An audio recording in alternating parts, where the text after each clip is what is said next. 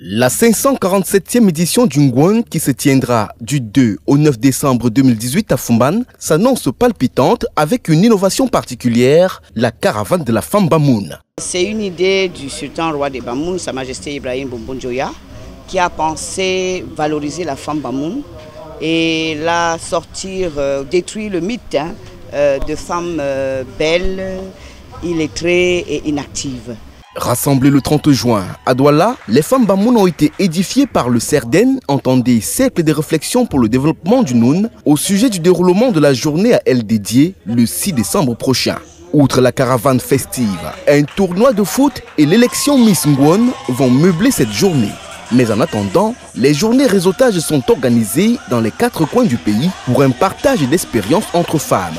Des journées de réseautage, n'est-ce pas, déjà pour commencer. Valoriser la femme Bamoun, c'est la sortie de son coin et avoir des plateformes euh, de rencontres, d'échanges et de partage d'informations et d'expériences entre les femmes Bamoun.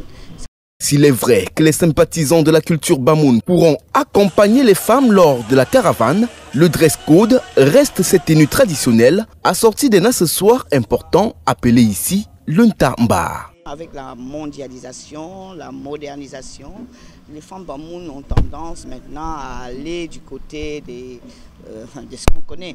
Donc du coup, il faut refaire un retour aux sources de la femme Bamoun avec les parures d'avant, la coiffure d'antan et euh, l'accoutrement aussi euh, d'avant pour montrer comment les femmes Bamoun, et pour montrer que la femme Bamoun doit être belle, active, digne et décente.